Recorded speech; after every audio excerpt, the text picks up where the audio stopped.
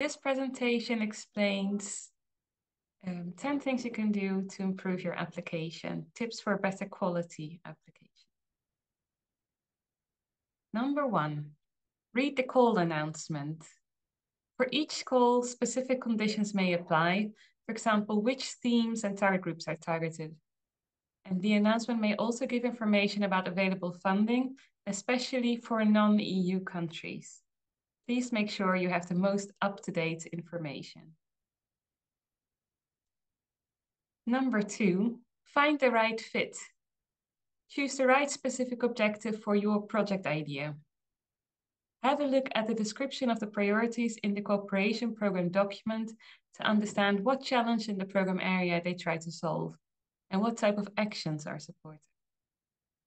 If possible, highlight why your application is specific for the NPA area. Number three, consider the context. Show that you're aware of other projects funded in the same theme as your project idea.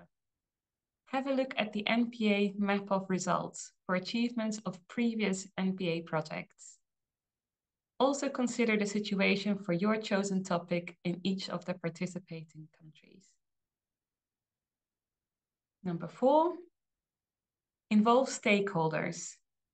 The Interreg NPA is not a research program, and for this reason, purely academic partnerships are discouraged.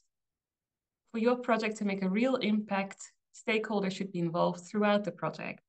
For example, as partners or associated partners in the development and testing of outputs and in the outreach activities to communities have a look at the expectations for project communication in the program manual. Number five, focus on cooperation. It should be clear that your project can only be achieved by working together transnationally. Explain how the project partners complement each other. Have a look at the cooperation criteria in the program manual. Number six, Focus on tangible solutions. Make it clear how the tangible solutions developed by your project will improve the situation for the target groups you have identified. It should be explained what and how many solutions are developed and if they're expected to be taken up by your target groups by the end of the project. Have a look at the expectations for project outputs in the program manual.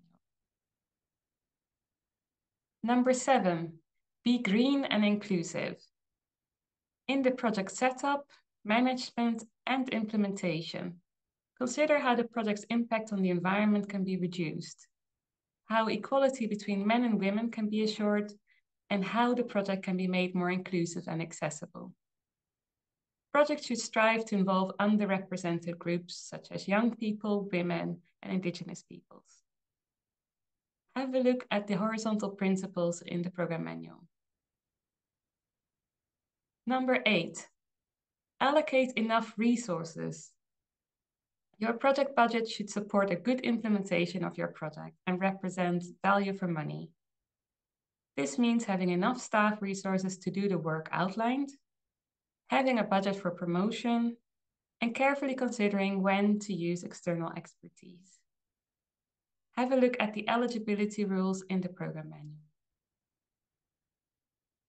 Number nine, Keep it short and simple. Enough said. And finally, number 10. Check and double check. Have a look at the checklist for applicants and, the, and regularly use the pre-submission checks in Jems. If possible, ask someone not involved in the project to proofread your application. Is it easy to understand? Is it logical? Is it concrete? Is it clear who does what? And if anything is unclear, ask for help from the Joint Secretariat or a regional contact point. Thank you very much.